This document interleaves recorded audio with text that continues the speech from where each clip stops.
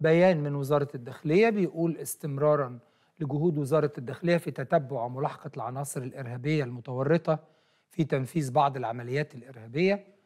توفرت معلومات لقطاع الأمن الوطني حول تواجد مجموعة من العناصر الإرهابية المتورطة في حادث مقتل المواطن نبيل حبشي بمنطقة الأبطال بشمال سيناء واطلاعهم بالإعداد والتخطيط لتنفيذ عدد من العمليات العدائية تستهدف المواطنين الأقباط وممتلكاتهم ودور عبادتهم وارتكازات القوات المسلحة والشرطة وأسفرت نتائج الرصد عن تحرك ثلاثة من تلك الخلية شديدة الخطورة بذات المنطقة.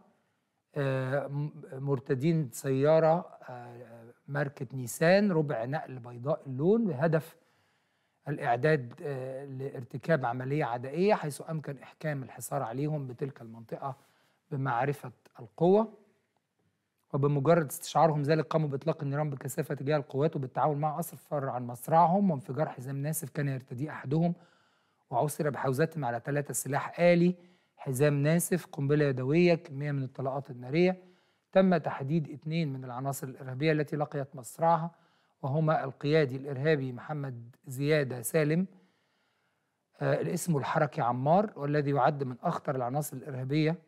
تولى الإعداد والتخطيط والتنفيذ للعديد من الحوادث الإرهابية التي شهدتها محافظة شمال سيناء كما تولى مسؤولية توفير الدعم اللوجستي للعناصر الإرهابية. والثاني هو الإرهابي يوسف إبراهيم سليم اسمه الحركي أبو محمد المتورط في تنفيذ العديد من العمليات الإرهابية ومن المعاونين للأول في توفير الدعم اللوجستي وجاري ملاحقة باقي عناصر تلك الخلية الإرهابية المتورطة في حادث مقتل المواطن نبيل حبشي حيث أمكن تحديدهم وتبين أنهم جهاد عطلة سلامة عودة وأحمد كمال محمد شحاتة وخالد محمد سليم حسين.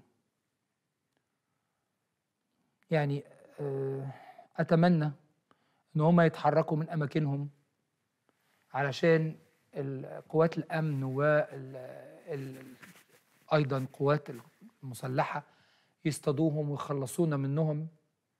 و... وأتمنى من السادة الزملاء الصحفيين إنه لما يكون في مواطن قبطي ما يكتبوش في أخبارهم في الجرايد مقتل مواطن قبطي أو مقتل مواطن ولما يكون في بقى حد تاني يكتبه شهيد. فأرجو إن ده ما يحصلش تاني يعني.